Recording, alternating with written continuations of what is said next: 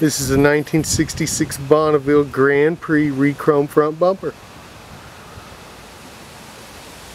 I think it's beautiful, isn't it?